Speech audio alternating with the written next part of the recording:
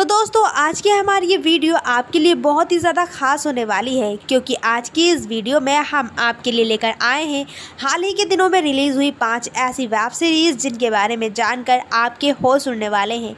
और दोस्तों, number one और नंबर टू के प्लेस की वेब सीरीज़ को तो बिल्कुल भी मिस ना करें, क्योंकि इन वेब सीरीज़ में आपको वो सब देखने को मिलेगा जो कि आप देखना चाहते हैं। इसीलिए बिना वक्त गवाए तो चलिए शुरू करते हैं आज की हमारी ये वीडियो। नंबर फोर पर आई वेब सीरीज़ की। तो दोस्तों, इसमें शामिल है नंबर फोर पर प्रभा की डायरी सीज़न टू। अगर आपने अभी तक इसका सीज़न वन नहीं देखा है तो जल्दी से जाकर उल्लू ऐप पर देख लें। तो इसके सीज़न टू में स्टोरी दिखाई गई है एक ऐसी लड़की की, जो कि अपने सभी एक्सपीरियंस को एक डायरी में लिखती है और इस वेब सीरीज़ में भी आपको काफ़ी ज़्यादा इंटीमेट एंड बोल सीन देखने को मिलने वाले हैं। अब नंबर थ्री पर बात करते हैं, जो की उल्लू की ही वेब सीरीज़ है, जो की हाल ही के दिनों में रिलीज़ हुई है, जिसका नाम है पिंजरा। इस वेब सीरीज़ में भी आपको काफ़ी ज़्यादा इंटीमेट एंड बोल सीन देखने को मिलने वाले हैं। अब बात करते हैं जिस वेब सीरीज़ का आपको काफ़ी देर से इंतज़ार था नंबर टू पर है प्लीज़ मूवी की ब्लैक मैजिक शॉर्ट मूवी और यहाँ पर आपको वो सब कुछ देखने को मिलेगा जो कि आप देखना चाहते हैं, यानी कि हर चीज़ खुलम खुल्ला।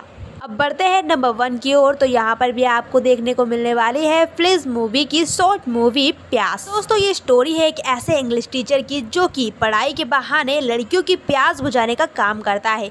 और इस वेब सीरीज़ में आपको काफ़ी ज़्यादा एरोटिक और बॉल सीन देखने को मिलने वाले हैं। तो दोस्तों, आज की हमारी ये वीडियो और ये सभी वेब सीरीज़ में से आपको कौन सी वेब सीरीज़ अच्छी लगी, हमें अपनी राय कमेंट करके ज़रूर बताएँ। साथ ही अगर वीडियो पसंद आई हो तो वीडियो को लाइक कर लें और हमारे चैनल को सब्सक्राइब करना ना भूलें। साथ ही बेल आइकन बटन को प्रेस कर ले और ऑल पर क्लिक कर ले, ताकि हमारी हर एक नई वीडियो का नोटिफिकेशन सबसे पहले आप तक पहुँच सके।